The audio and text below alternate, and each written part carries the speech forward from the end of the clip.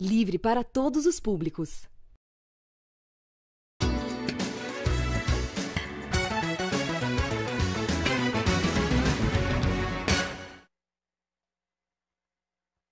Olá, pessoal! Bom para todos, começando nessa terça-feira, dia 8 de setembro. Estamos ao vivo na TVT, na Rádio Brasil Atual, 98.9 FM, e também nas redes sociais, no youtube.com/barra e no facebook.com/barra pelas redes sociais, você pode participar aqui com a gente. Mande comentários, sugestões, manda fotinho. A gente recebeu uma vez uma foto, foi tão bacana. Se você quiser mandar também pelos comentários, manda foto aqui pra gente, acompanhando Bom para Todos.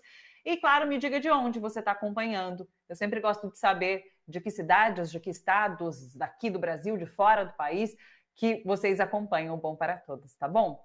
Hoje a gente conversa com Silvio Catiabava, sociólogo, diretor do jornal Le Monde Diplomatique Brasil. Ele traz para a gente uma análise das principais notícias do dia. Conversaremos também com a linguista e jornalista Letícia Salorenzo e ainda com Fernando Ideu, advogado criminalista. Temos também participação da professora Catarina de Almeida para falar sobre volta às aulas em São Paulo, no Paraná. A gente vai falar um pouquinho sobre isso, tá bom? Antes, as principais notícias do dia. O Conselho Nacional do Ministério Público decidiu punir Deltan Dallagnol por interferência no processo de eleição do Senado em 2018.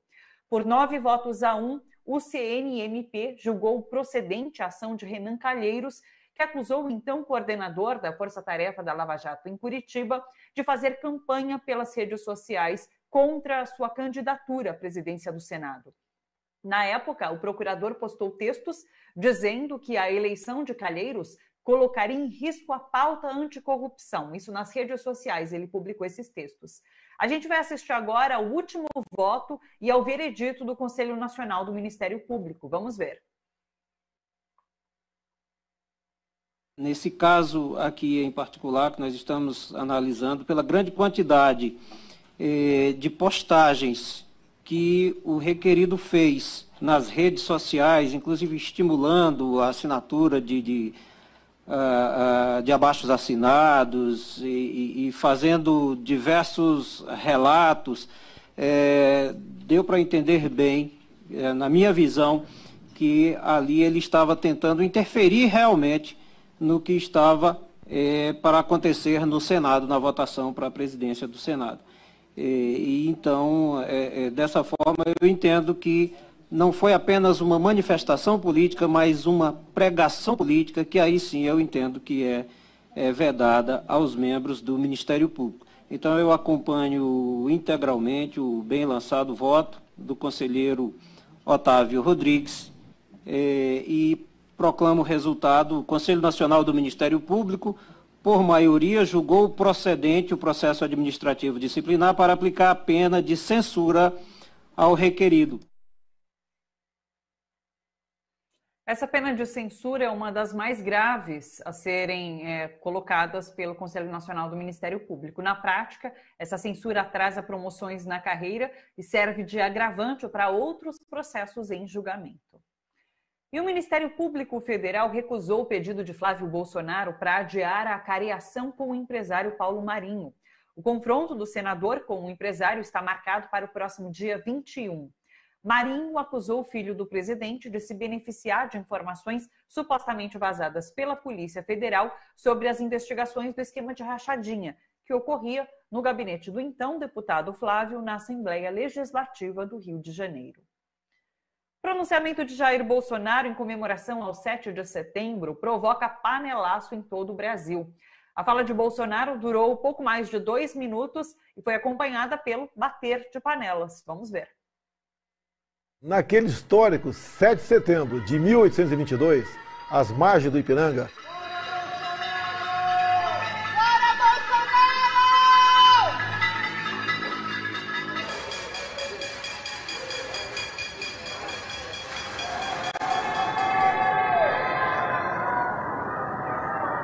Brasil desenvolveu um senso de tolerância.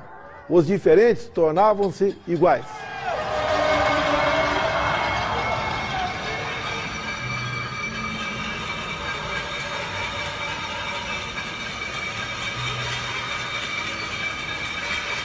Nos anos 60, quando a sombra do comunismo nos ameaçou, milhões de brasileiros identificados com os anseios nacionais.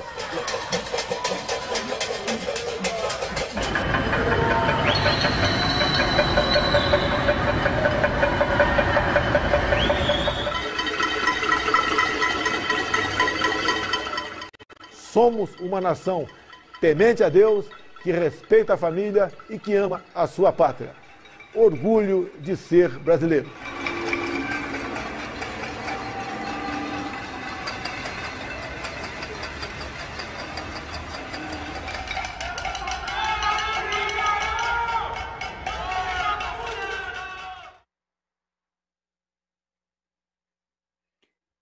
Ex-prefeito assume que roubou enquanto esteve à frente da prefeitura de Cocal, no Piauí, e arranca aplausos e gargalhadas de políticos, entre eles o senador Ciro Nogueira, do Centrão. Foi durante convenção do MDB no final de semana. José Maria Monção lembrou que não foi preso à toa. Uma das prisões, inclusive, foi por desvio de 2 milhões e 600 mil reais do Fundeb, que é o Fundo de Desenvolvimento da Educação Básica, isso em 2009. A confissão do ex-prefeito, presenciada por um senador da República, viralizou nas redes sociais. Vamos ver um trecho agora. Eu fui prefeito três vezes, eu sei o sofrimento, mas também não roubei o tanto que esse aí roubou, não, tá entendendo? Esse é descarado, esse tá afundando o cocal. Eu posso até ter tirado alguma coisa dado para os pobres, tá? Que a verdade ninguém pode ser tão sincero, tão Se eu não tivesse tido tanto direito, eu não tinha ido preso, né? Se eu fui preso, tem um motivo. Então, o que que acontece? Eu quero dizer para vocês, mas político que rouba, rouba para dar para o povo. É difícil o cara roubar para si, né? Para a gente analisar essas notícias do dia, recebemos agora o Silvio Catiabava, que é sociólogo, diretor do jornal Le Monde Diplomatique Brasil. Oi, Silvio, tudo bem? Rita, prazer estar aqui. Prazer é sempre nosso, Silvio. Vamos começar com um pronunciamento de Bolsonaro. Então, ontem, no 7 de setembro, um pronunciamento ali de dois minutos, em que ele é, volta a defender o golpe de 1964, fala sobre essa ameaça do comunismo. E daí dá para a gente até fazer, tentar fazer um paralelo com o que foi o pronunciamento do ex-presidente Lula ao Brasil. Ele fez uma fala grande ontem, falando sobre pontos, criticando alguns pontos da gestão é, atual do governo e, e colocando é, possibilidades é, de melhora dessas situações. Como que você viu esses discursos? Você sabe, Thalita, que eu estava acompanhando as notícias, todas elas estão girando em torno do tema da corrupção, não é? O Paulo Marinho e o Flávio Bolsonaro, o, o, a questão do Dallagnol, a questão, enfim, quer dizer, do panelaço. Panelaço, eu quero começar por aí, é uma expressão de uma classe média que, de um certo sentido, foi traída, porque ela aderiu ao Bolsonaro, né, na maioria, ela se pronunciou em favor da luta contra a corrupção, né, e nesse sentido a Lava Jato foi uma questão central para organizar e estruturar esse negócio, né, e depois ela começa a ver repetidas demonstrações de que, por exemplo, a família Bolsonaro está enredada em N casos de corrupção, né, para não falar de outros crimes. Então, ela, no fundo, diz assim: olha, eu fui enganada. Né? Eu, na verdade, apostei numa luta contra a corrupção né? e comprei um, um pacote que não corresponde àquilo que eu gostaria de ver sendo defendido. Né? E o Bolsonaro, ele tem uma fala dele uma coisa muito curiosa, porque ele faz um começo na defesa da democracia, né? Nós vimos o começo da fala dele. Mas ele defende também a ditadura, o golpe militar de 64, não é? E ainda fala umas coisas que são muito antigas. Quer dizer, nós temos que continuar lutando contra o comunismo. Você sabe que na campanha do Trump, agora nos Estados Unidos, tinha também uns cartazes que diziam assim: 100% americano, 0% comunista como se o comunismo nos Estados Unidos também fosse uma ameaça. Né? Então, é uma espécie de levantar uns, uns espectros, umas ameaças que não se justificam hoje em dia. Quem é que está defendendo que o país se transforme em comunista? Não é? Eu vejo isso de uma maneira muito, muito delicada. Né? E, continuando um pouco o comentário sobre as notícias, né, se você me permite, né? a história do Paulo Marinho e do Flávio Bolsonaro em torno das rachadinhas é uma outra frente de acusações da família Bolsonaro de corrupção. Né? Já absolutamente, onde é que estão os 89 mil reais e os imóveis que foram comprados em com dinheiro vivo da família Bolsonaro? Há indicações, inclusive, de investimento do, da família Bolsonaro em edifícios sendo construídos pela milícia na periferia do Rio de Janeiro. Quer dizer, tem algumas coisas bastante complicadas aí, né? E a, a, a Lava Jato, que era a joia da coroa, no sentido de ser assim, a expressão maior de uma ideia de renovação da política, né? ela trouxe uma polarização, né? onde você assiste que, de um lado, hoje em dia, com o Procurador-Geral da República, o Aras, o próprio governo Bolsonaro quer desmontar a Lava Jato, né? e há resistências. Oito procuradores de São Paulo pediram demissão coletiva, né? frente a um questionamento se eles estavam ou não segurando informações né? que são de uso exclusivo daqueles que estão fazendo as investigações. Né? E eu acho que não dá para desconhecer a relação do juiz Sérgio Moro né, com o próprio Dallagnol. O Dallagnol acaba de ser é, condenado por um Conselho Nacional do Ministério Público, como você disse, por 9 a 1. Quer dizer, nove dos dez é, que estavam julgando ele entenderam que ele foi além do que poderia ir como procurador da Justiça e que interviu nas eleições do Senado tentando afastar a possibilidade da eleição do Calheiros, alegando que seria a volta da corrupção. Né? Nós não podemos esquecer também que o próprio Sérgio Moro, pelo TRF4, agora, né, ele sofreu uma derrota e uma denúncia. Quer dizer, o TRF4 anulou a condenação do Paulo Ferreira, tesoureiro do PT, né, dizendo que não tem provas para que possa haver essa condenação. Você pode estabelecer um paralelo entre a ação do Dallagnol e a ação do Moro. Os dois compõem o mesmo tipo, o mesmo grupo, né, que usa, agora nós temos que usar os termos que correspondem à verdade, que usa a bandeira da corrupção para fazer uma perseguição política né, a setores da sociedade com os quais eles não concordam. Eu estou aqui explicitamente falando sobre a questão do PT, né? que foi condenado, acusado de N maneiras e agora os tribunais estão revendo essas acusações. Eu me lembraria também que não existe só o PT no Brasil né? e que o PSDB, desde há muito tempo, a corrupção realmente não é de agora. Né? Você tem, por exemplo, a compra dos votos da reeleição do Fernando Henrique Cardoso, com farto material que comprova isso, é? que nunca foi levado a julgamento, a juízo, prescreveu. é? Da mesma forma, o PSDB hoje tem um Aécio Neves, que foi gravado pedindo suborno ao presidente da JBS para que ele pudesse, 2 milhões, né, para que ele pudesse cuidar da defesa, da sua defesa com advogados. Né? Nós temos o José Serra e a filha dele, que tem uma conta na Suíça, que ninguém explica o montante que tem lá, de onde veio, e por que ele tem essa conta com a Verônica, a filha dele. Né?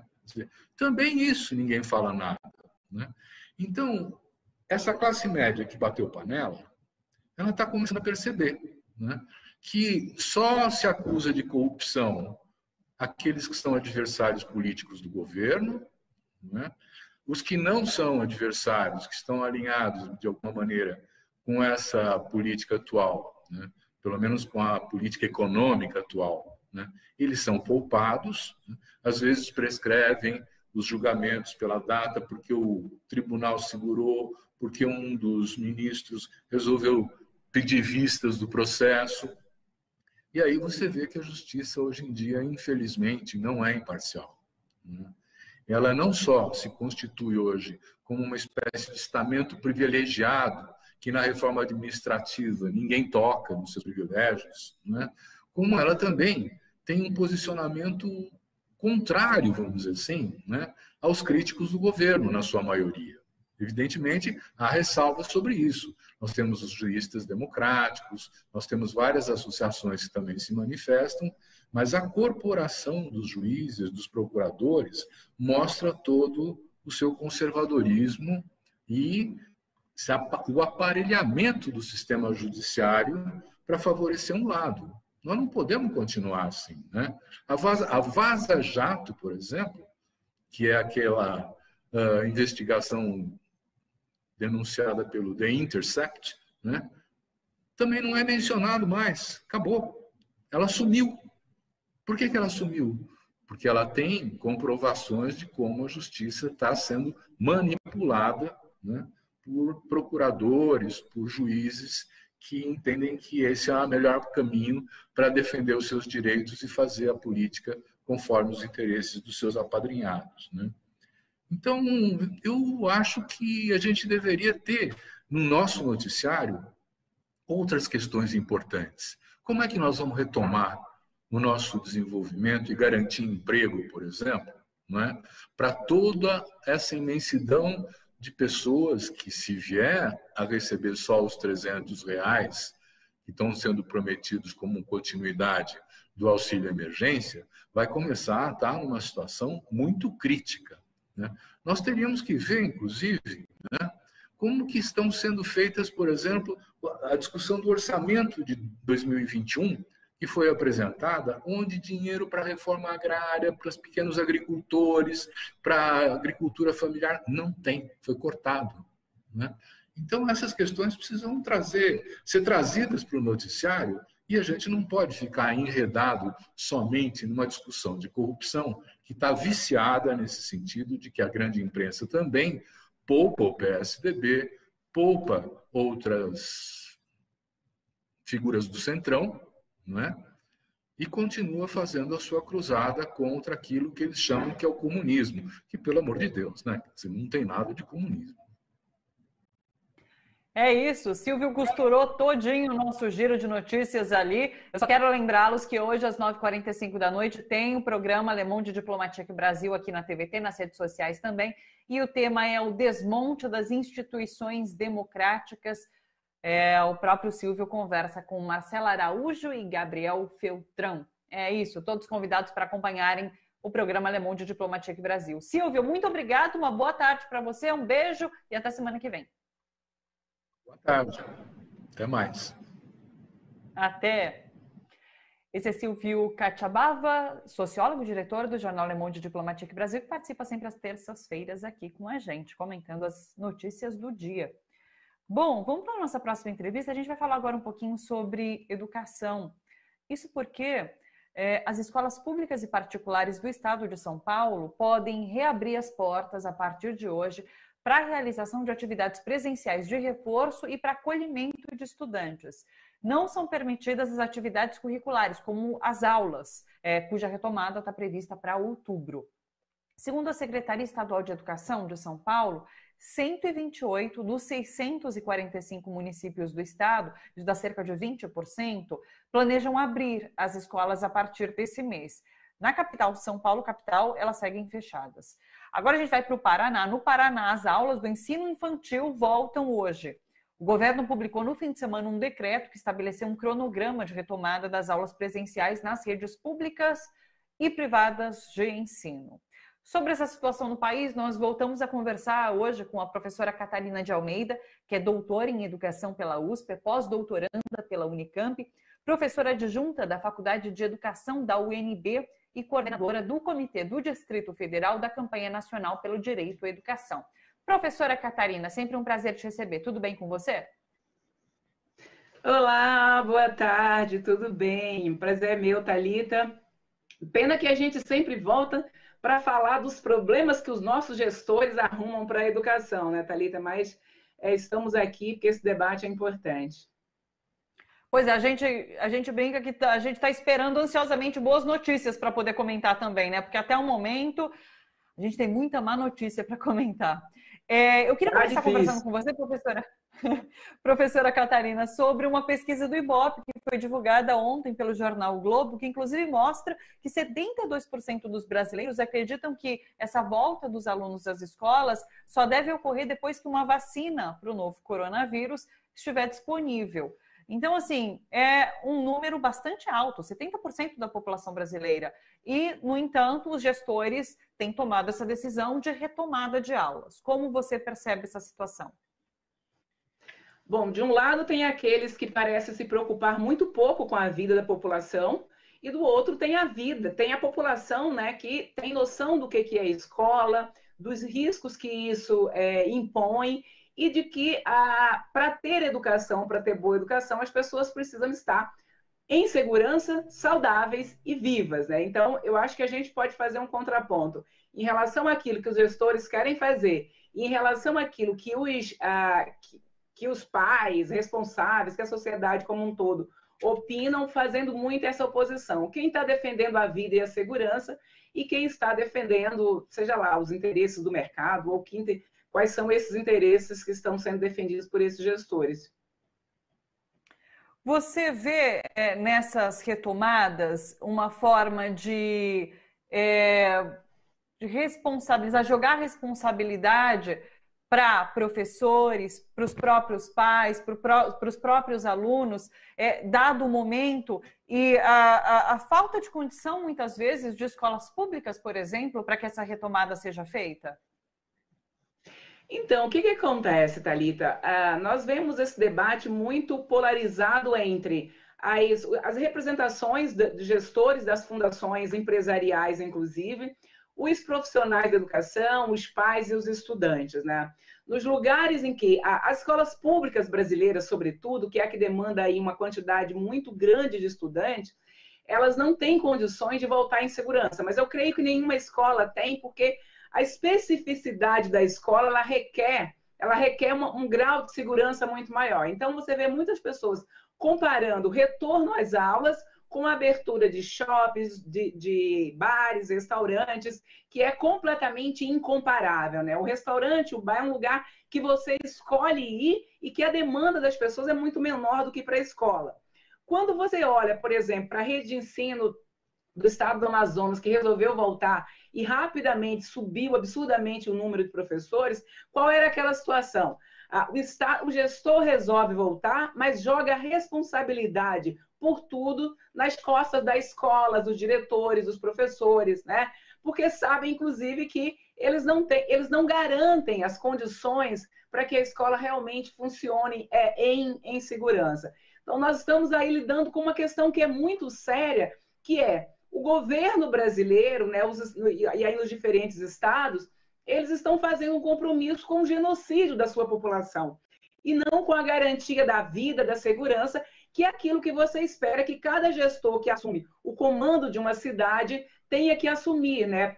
Antes de tudo, a segurança da população, da vida, né, das condições todas. É, no caso do Paraná especificamente, me assustou muito que o ensino infantil seja retomado antes de outros ensinos, enfim, o superior, o ensino fundamental, porque você entende que pessoas, é, que crianças maiores, adolescentes, é, conseguem ter um cuidado maior do que as crianças no ensino infantil. É, é, é uma escolha errada fazer essa graduação, esse calendário com a retomada antes do ensino infantil, professora? Então, quando a gente olha a decisão do gestor a partir de qual etapa, a gente olha muito que a decisão dele está vinculada à questão do mercado e não da vida. Por que, que se está voltando muito a educação infantil?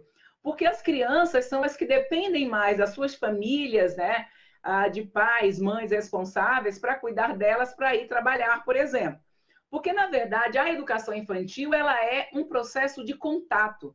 E é contato muito próximo, né? É do professor pegar a criança no colo, está muito próximo, mas mais que isso, você não tem controle ah, da, da, interação das crianças. Você imagina que depois de praticamente um ano de distanciamento, essas crianças vão se encontrar nesse espaço e elas vão correr, querer brincar juntas, trocar materiais, trocar copos, trocar chupetas, inclusive, porque isso acontece muito entre as crianças. Então, retomar as atividades exatamente na etapa que exige mais contato entre as crianças, mais cuidado, mais contato dos professores com as crianças, mostra muito qual é a responsabilidade que os nossos gestores têm e qual é o compromisso. Então, o compromisso não é com as crianças, os profissionais da educação e sua vida. O compromisso está muito vinculado às demandas do mercado, né? E não da vida e da segurança. Você trouxe também, a gente conversou um pouquinho antes aqui de entrar no ar, você falou sobre o caso do Espírito Santo, onde o governador foi notificado que seria responsabilizado, e daí ele resolveu abrir uma consulta para saber se volta com as aulas não ou não. É, e daí é isso, ele também joga a responsabilidade de uma decisão que deveria ser dele nas costas de educadores, professores, é, dos próprios pais. É, é uma decisão errada. É, é uma decisão errada, porque, na verdade, é o Estado que precisa dizer que ele está dando garantias de vida e de segurança para os, ah, os estudantes, famílias e seus professores. Né? A notificação do Ministério Público, que o Ministério Público fez ao secretário de Educação do Espírito Santo, era exatamente dizer: se você toma essa decisão, você vai ser responsabilizado judicialmente pelas mortes que, que, que acontecerem. E aí ele faz a, a, a, a consulta e ainda coloca na consulta a possibilidade de existirem mortes e que a escola se organize para fazer as suas condolências, esse tipo de coisa, as pessoas que morreram. Então, é, na verdade, é um gestor que está dizendo que sabe que vai ter mortes e que está, está assumindo isso. O fato de fazer consulta pública não exime gestor da sua responsabilidade da decisão. O gestor, quando ele vai para o carro, quando ele é eleito, é para tomar essas decisões em nome da segurança da sociedade. Não basta fazer consulta pública e achar que isso exime é, é, ele do crime ou de qualquer coisa nesse sentido. Então, nós temos aí alguns elementos para nós pensarmos. E, Thalita, a gente tem um outro elemento além disso que eu acho que a gente precisa pensar é dos gestores, como aqui no Distrito Federal, que anunciam querer é, concluir o ano letivo de forma remota, né? A conclusão do ano letivo significa que nós vamos concluir o ano letivo sabendo que vamos excluir, que tem muitos estudantes que não estão acompanhando, ou seja, estão evadidos do sistema. A pressa para concluir é para quê? Para a gente recomeçar o ano letivo no ano seguinte. A gente não pode esquecer que o Estado tem uma responsabilidade, inclusive, em fazer o recenseamento, em fazer a busca ativa. E certamente nós teremos em muitas redes de ensino entre 30%, 40%, 50% ou até 60% de evasão desse processo. E esse sistema de ensino tem a responsabilidade legal, né, a Lei Diretriz e Base deixa isso muito claro, de fazer a busca ativa, de fazer o recenseamento para matricular as crianças, jovens e adolescentes na idade obrigatória no sistema de ensino. Então, uma, na contramão de quem quer retomar as aulas presenciais, você tem aqueles que estão anunciando o fim do, do calendário letivo esse ano, dessa forma, e de forma remota, é, desconsiderando todas essas questões. Então, os nossos gestores precisam e muito é, fazer processos mais democráticos e ouvir a sociedade, sobretudo a comunidade é, educacional. Na sua opinião, professora, é, a melhor opção é ainda aguardar a vacina de fato? Com certeza, aguardar ter uma segurança na, na, sobre a questão da vacina, né? E repensar qualquer conclusão de ano de forma mais presencial, que a gente possa fazer uma, uma avaliação de quem avançou, de quem não avançou, não fazer esse compromisso do Estado com a exclusão. Então, assim, até, a não ser que a gente tenha um novo cenário, que eu acho difícil que a gente tenha um novo cenário, que a gente precisa avançar em relação, por exemplo, à aquisição de vacinas dos países que já desenvolveram, investir dinheiro para desenvolver mais vacina nesse país e de forma mais segura. Então, é disso que nós precisamos. O Estado precisa garantir primeiro as condições para depois retomar. Ano letivo a gente recupera, a vida a gente não recupera. Então, o compromisso do Estado deveria ser sempre com a vida. É, nesse momento, inclusive, é, nesses estados que estão retomando, já retomaram, estão retomando aos poucos, o enfrentamento que a gente vê é, em termos de debate é a greve dos professores. É, é, é uma forma de conter essa retomada das aulas? Como que você vê isso? Na verdade, não é uma forma, é a única forma, né? Os professores, né? Quem faz o dia a dia da escola, quem faz o chão da escola, quem sabe o que é escola, sabe quais são as condições que as nossas escolas têm e sabe quais são, em quais condições o processo de ensino-aprendizagem acontece, né? O que é que, o que, é que se requer dentro de uma instituição escolar, na relação professor-aluno, sabe como funciona. Então, os professores sabem que nem eles e nem os estudantes estão, né, os professores e as professoras, estão seguros nesse processo de retomada intempestiva é, das aulas presenciais. Então, na verdade, o único caminho para garantir a sua segurança, para garantir a vida dos seus estudantes, é a greve, né? Porque se tem greve, eles não são obrigados a voltar para as escolas. Os professores estão se matando, estão tentando, fazendo tudo que pode, indo atrás dos estudantes, e os gestores só mostram que não tem nenhuma responsabilidade com a vida daqueles que estão sob a sua responsabilidade ao comandar estados ou Secretaria de Estado de Educação. E por parte dos alunos, professor, o que é possível fazer nesse momento? Bom, os alunos, assim, se a gente pensar a lógica da própria segurança, né, e a gente viu, ah, inclusive no, no, no, estado do Amazonas, como os alunos faziam chacota, inclusive com os, os materiais de segurança, né, de segurança que o estado é, distribuiu, mas os próprios alunos, né, as instituições estudantis, eles também podem fazer greve, na verdade, né? É, os estudantes têm feito muito isso, é, em momentos cruciais, né, eles definem entrar em greve, a gente está tá mais acostumado com isso é, no ensino superior, mas não vamos esquecer que os estudantes fizeram ocupação de escola, agora eles podem fazer a desocupação é, das escolas, né? então pode se unir aí os educadores, e eu acho que a família, essa 70% da população dizendo que não há segurança em retomar as aulas agora, diz muito. Então, eu acho que os professores entrando em greve vão encontrar é, muita guarida nos pais, nos responsáveis e nos próprios estudantes, porque é uma questão de vida, e não é só a vida dos professores, né?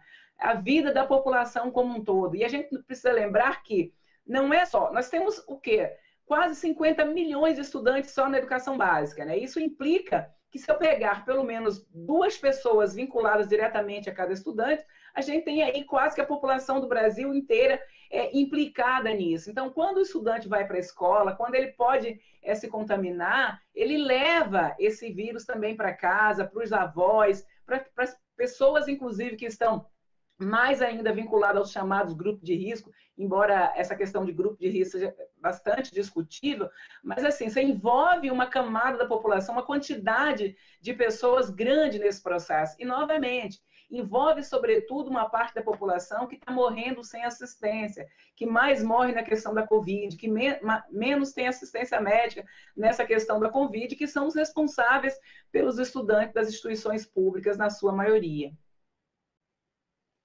É isso. Professora Catarina de Almeida nos ajudando a entender esse momento delicado que nós brasileiros, assim, todo, todo mundo tem passado e a gente aqui no Brasil tem enfrentado, então, essa situação bastante complicada de, de, de, de retorno, retomada das aulas, sem necessariamente estarmos prontos para isso. Professora Catarina, sempre que o número de, de... Num país que o número de infectados não, não, não, não caiu, né? agora que a gente tem alguma tendência. Então, assim, você não tem mudança de cenário do início da suspensão das aulas para hoje, né? Ao contrário. É. E aí, você não sabe baseado em que as pessoas resolvem retomar, se, se suspenderam no início, e agora que nós estamos num cenário com quase 130 mil pessoas mortas, as pessoas resolvem que pode retomar as escolas. Então, eu só tenho a entender que há um compromisso com o genocídio da sua população, porque não faz muito sentido isso. Total, acho que esse é o grande questionamento. Se estava ruim no começo e parou, agora que está pior, por que, que vai voltar, né? Não dá para entender, não entra na nossa cabeça de fato.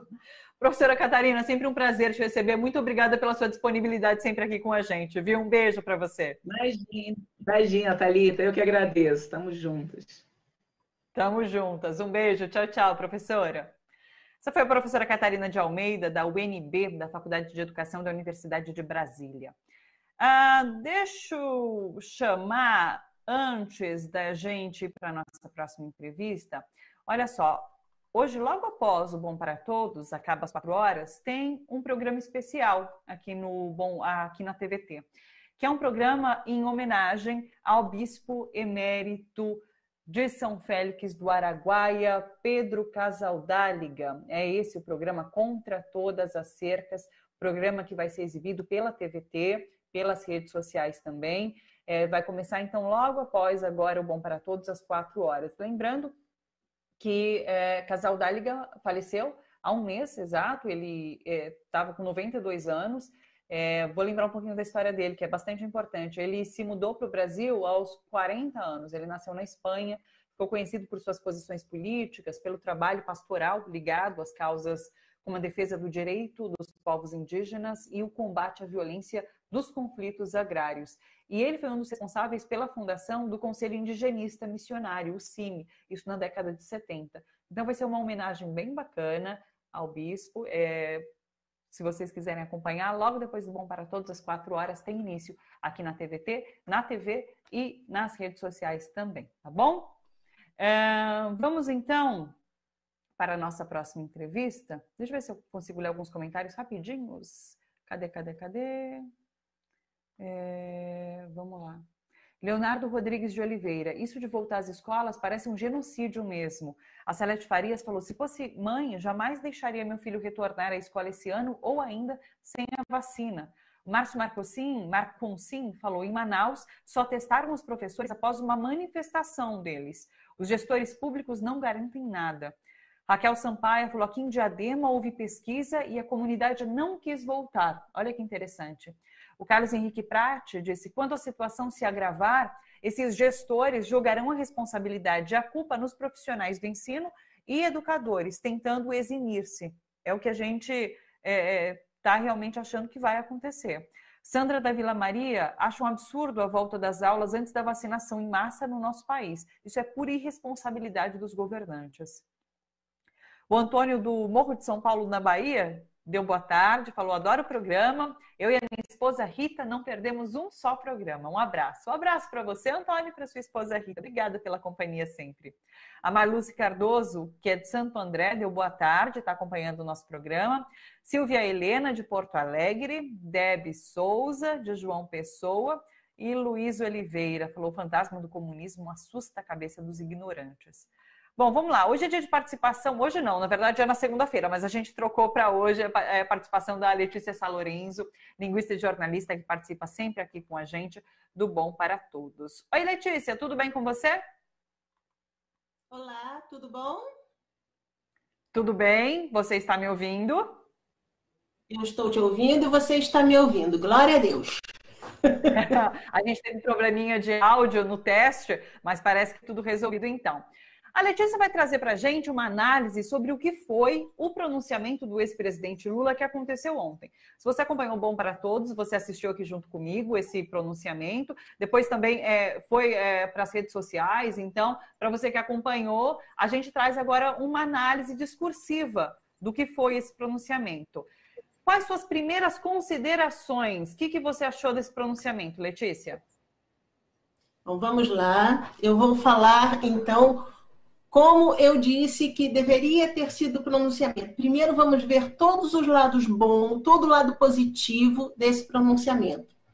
O Lula falou como chefe de Estado, ele fez um discurso bem abrangente, ele falou sobre política, sobre economia, sobre governo, ele deu um apanhado sobre questões identitárias, situando o Brasil num contexto mundial, tá?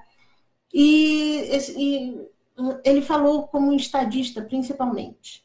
Tá? É... Ah, o Lula foi muito bom, Lula foi maravilhoso. Tá? Pois é, todos nós entendemos isso. O Lula sempre fala muito bem, a gente sempre adora tudo que o Lula escuta. Por isso mesmo que eu não estou preocupado com a gente. Eu quero saber quem não gosta do Lula, como é que recebeu esse, esse discurso. E até onde eu vi, o discurso do Lula, ele não furou a bolha. Ele, ele falou aqui dentro, ele falou para a gente. Para o lado de lá, ele, com o lado de lá, ele não conseguiu se comunicar. Né?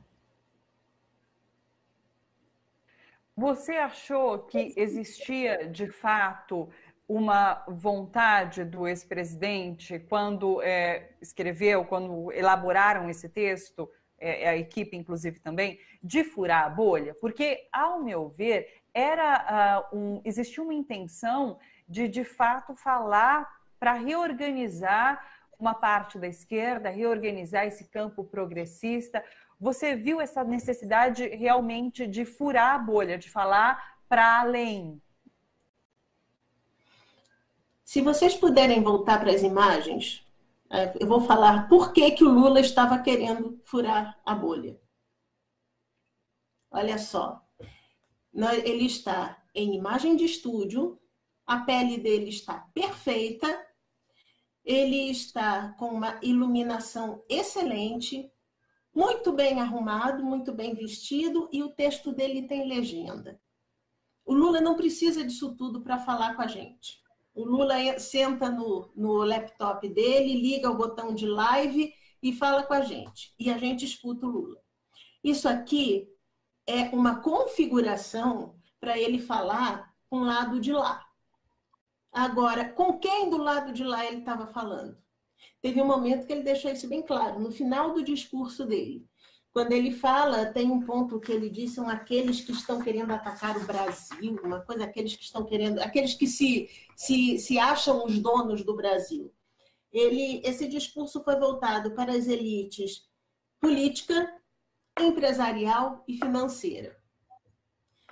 Agora, esse discurso, e tem vários trechos no discurso dele que dão a entender que esse discurso, o, o Lula não fez o primeiro movimento que o que o Lula está fazendo é uma reação. Tá?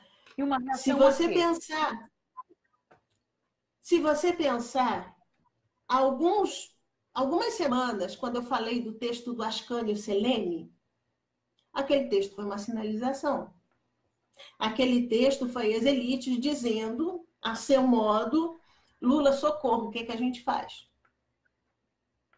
Tá? Nós não os toleramos, nós não vamos com a tua cara, mas eu acho que nós, nós estamos começando a achar que você é necessário aqui. E nesse momento começaram a negociar. E agora o Lula colocou as cartas dele na mesa. Né? Como isso vai que... ser recebido? Diga. Pode completar, por favor. Como isso vai ser recebido? Bom, nós já começamos a ver os primeiros sinais. A Folha de São Paulo recebeu mal. Porque a manchete do, da Folha de São Paulo foi Lula ataca Bolsonaro. Isso daí já é má vontade. O, o Estadão, ele já teve um pouquinho mais de boa vontade. Eu não lembro como foi a manchete ontem, mas foi uma, uma manchete mais positiva. Tá? Mas a resposta a esse discurso do Lula, nós não vamos ver em manchetes de jornais. A resposta ao discurso do Lula, eu espero na movimentação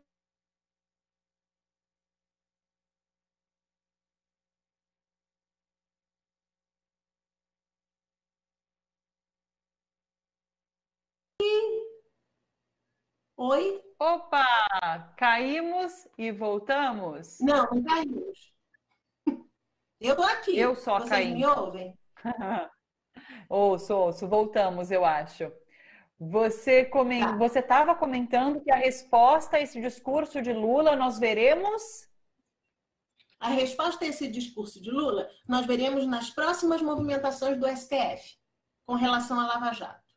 Nós vamos ver se o STF vai parar por aqui no, no que ele já tolheu da Lava Jato ou se ele vai continuar. Porque vai ser a partir desse movimento. O que, que foi a Lava Jato? Ai, foi para pegar, foi para pegar corruptos petistas. Tá bom, senta lá, Cláudia, acredita nisso.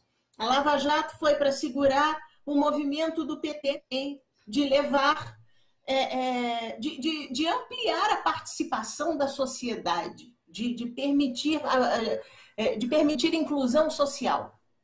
Tá? A Lava Jato fez isso. Uh, ah, ah, para quê? Porque, porque as elites estavam incomodadas com isso, as elites queriam dar um freio nos, nas camadas mais populares da população. Foi bem sucedido? Não. Tá aí o Bolsonaro que não me deixa mentir. Se tivesse sido bem sucedido, a gente teria um Alckmin, a gente teria um Meirelles no, no, no poder. Tá? Pelo menos um Alckmin, que era o que eles queriam. Não conseguiram, conseguiram um Bolsonaro. Aí estão se ferrando agora. Aí o pessoal está sinalizando. E aí, todo aquele movimento para segurar e conter Luiz Inácio da Silva está, está recuando. E o Lula deu a letra.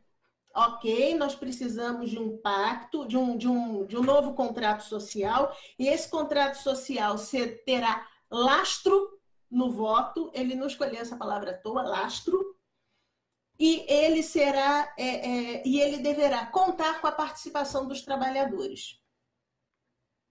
Tá?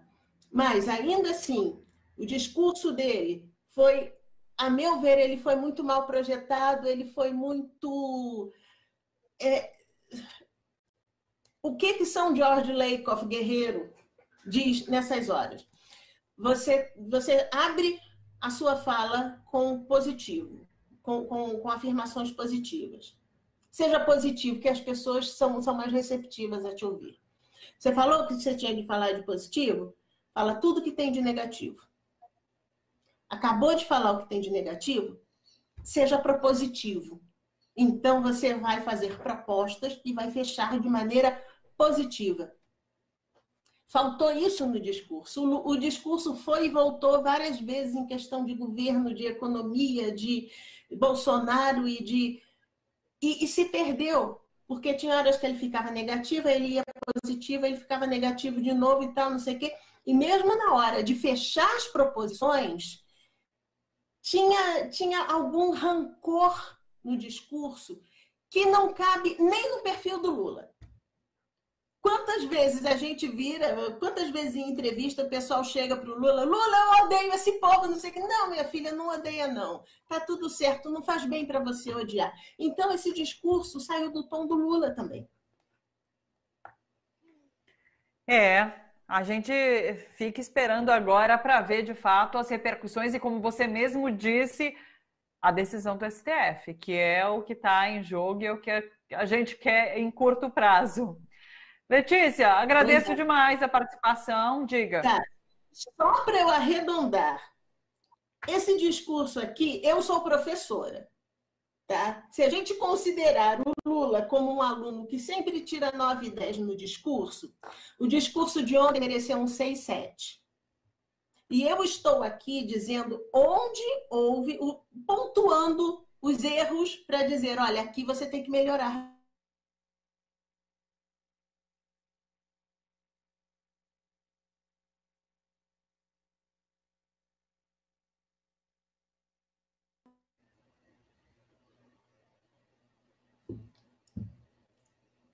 Eu caí, mas já voltei.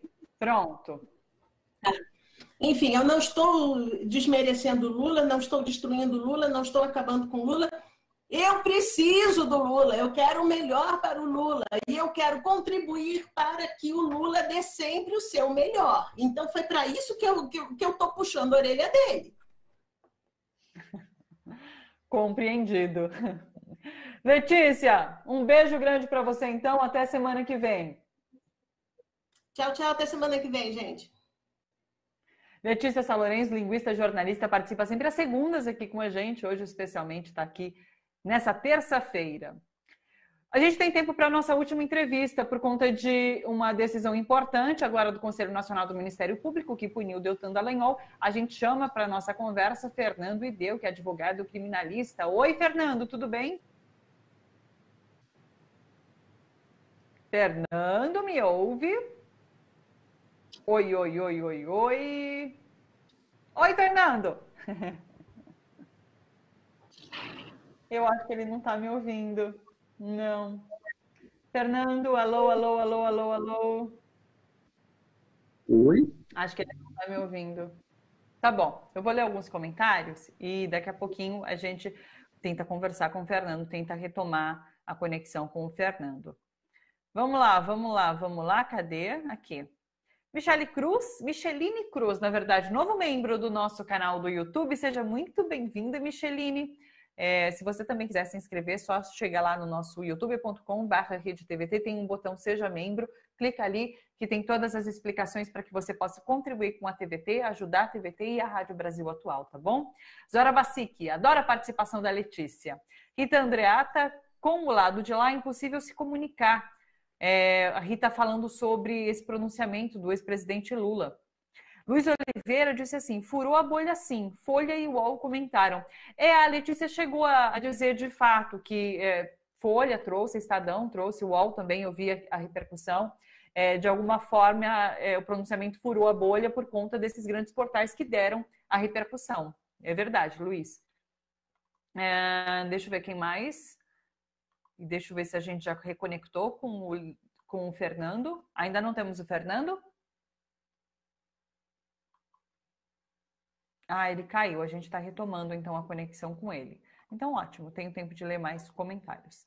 Vamos lá para os primeiros. O Carlos Henrique está sempre aqui com a gente, Antônia Santos, Josi Negreiros, Fernando Gregório também sempre aqui com a gente. Oi, Fernando. Alina Luz deu boa tarde, falou que já está ligada na TVT no 44.1. Estava é, esperando bom para todos. E a Alina, então, acompanha pela TV e pelas redes sociais. Que bacana, Alina, porque daí você pode comentar aqui com a gente. A Mispar Marques está com a gente, Elvis Barreto. Em Moçambique, o Elvis está, falou aqui já é noite. Marco Silva, Alessandro Florencio, que é de São Mateus, Zona Leste de São Paulo. Leonardo Rodrigues está acompanhando de Campinas. O José Luiz Almeida, que está de São Vicente, na praia de Tararé, litoral sul de São Paulo. Dida Baiana, acompanha o Bom para Todos de Cajazeira, Salvador, Bahia. Olha que bacana, tá vendo? Tem gente de tudo quanto é lugar acompanhando. A gente fica muito feliz. Sarete Coelho, de São Paulo. Silvana Silva, de Cotia, São Paulo. Podemos? Então tá bom. Fernando, agora você me ouve? Agora sim, Thalita. Tudo bem com vocês? Sempre uma alegria estar aqui. Alegria nossa, Fernando. E você que comentou com a gente semana passada sobre Deltan Dallagnol e hoje, então, o Conselho Nacional é, do Ministério Público traz essa punição a Deltan, punição de censura, que, pelo que eu entendi, é uma das mais graves. Explica para gente. É verdade. Na sexta-feira a gente falou um pouco sobre todo esse movimento, né? E aí hoje temos essa notícia aí do Conselho Nacional do Ministério Público. Na verdade, é uma das mais brandas, né? É a censura, é a advertência e depois a censura. Então, assim, é, não é nada, é claro, né? É simbólico. Acho isso importante a gente sublinhar que é uma, é simbólico essa essa mudança, né? De uma instituição que até hoje só apoiou as práticas ilegais dessa turma que se chama, que se, se chamou aí de Força Tarefa da Lava Jato, né? Mas é, é uma pena ainda que não, isso não pode servir para que a gente desvie o foco. Né, para que a gente fale, ah, então agora o Deltan já foi punido, então as coisas já voltaram à normalidade, ok, ele foi punido pelo que ele fez. Na verdade, ele foi punido por uma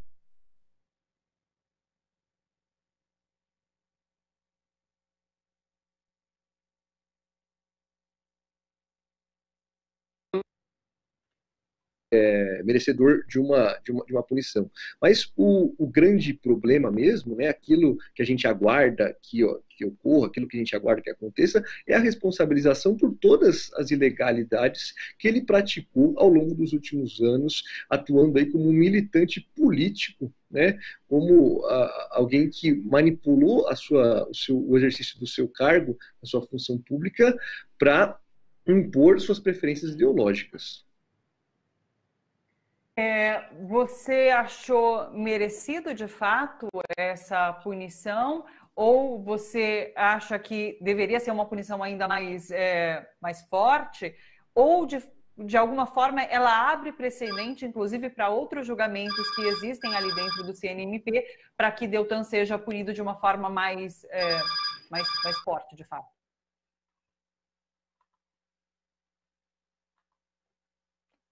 É, a gente está com um probleminha de conexão, é, toda hora cai nós dois, né? Ah, agora ele caiu de vez.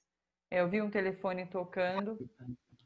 Mas é o seguinte, eu não sei nem se a gente vai conseguir retomar. Já, já voltou. Então tá bom, já me avisaram que já voltou. Oi. Oi, Fernando. Travou tudo aqui, não, não vi mais você.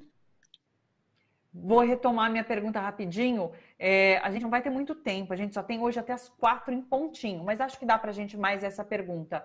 Você acredita que foi uma punição devida, deveria ser uma punição mais forte, ou abre precedente para que outros julgamentos ali dentro do Conselho tragam uma punição de fato mais contundente? Eu acho que é simbólico, né? demonstra aí uma, uma mudança no clima né? É, da, da institucional, né? uma retomada nos trilhos aí do Conselho Nacional do Ministério Público, mas para esse fato pontual, acho que é uma, é uma punição adequada, tá ok. O, o, o grande lance que, que, a gente tem que ficar atento, que a gente tem que cobrar e observar, é a responsabilização de todos os integrantes da Força Tarefa, não é apenas do Deltan Dallagnol, por ter armado esse conluio com o juiz Sérgio Moro para impor um projeto ideológico. Né? Todos ali atuaram como militantes políticos que instrumentalizaram cargos públicos para impor as suas preferências ideológicas. Eu acho que isso que é grave. É isso que deve ser apurado. E não declarações pontuais do senador. Claro, isso tudo faz parte de um, de um conjunto, né? Mas eu acredito, para ser bem sintético, que o problema não é apurar o que, ele falou do Renan Calheiros, que não pode desviar o, o, foco. Isso é importante, ok, isso é simbólico, mas o, o o principal é que todos eles respondam por terem instrumentalizado cargos públicos para impor preferências ideológicas, né? Não pode, a gente não pode admitir que um procurador da República, que um juiz federal, essas pessoas ajam como militantes políticos, ainda mais no exercício do cargo público. Acho que esse é o ponto central.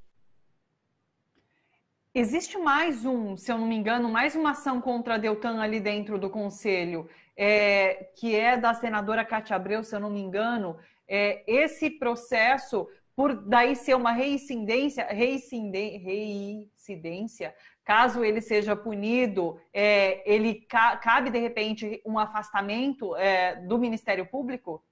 Em tese, sim, né? Em tese, sim. A reincidência dele, né, em, em, na, na, configuração aí de ilícitos é, funcionais administrativos, admite sim que no caso posterior a punição seja mais grave.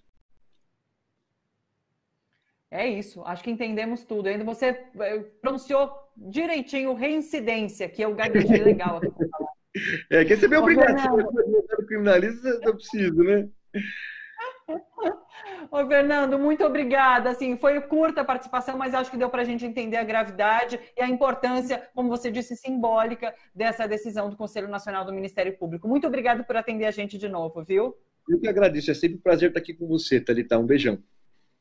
Beijo, Fernando. Boa tarde. Tchau, tchau. Esse foi Fernando Ideu, advogado criminalista, nos ajudando a entender nessa decisão do Conselho Nacional do Ministério Público, que penalizou Deltan Dallagnol a pena de censura por conta da ação do senador Renan Calheiros. E é isso, pessoal. Deixa eu ver se eu tenho um minutinho para ler alguns comentários. E a gente vai acabar hoje às quatro em ponto, porque, como eu disse para vocês, às quatro tem o programa em homenagem ao Bispo Casal Dáliga, que entra logo após agora o Bom para Todos. Deixa eu pegar aqui comentários rápidos. Ai, vou ter que voltar aqui. A gente tinha um novo. Ah, Silmara Conchão, novo membro, apoiante. E ela comentou aqui, mas eu não vou conseguir pegar o comentário dela. Mas Silmara Conchão, obrigada pela, pelo apoio que você dá aqui para a TVT e para a Rádio Brasil Atual, tá bom? E é isso, eu encerro aqui então com vocês. Amanhã eu estou de volta às três horas da tarde com o Bom para Todos. Espero, é claro, a companhia de todos vocês, tá bom? Um beijo grande, bom final de tarde e até lá. Tchau, tchau.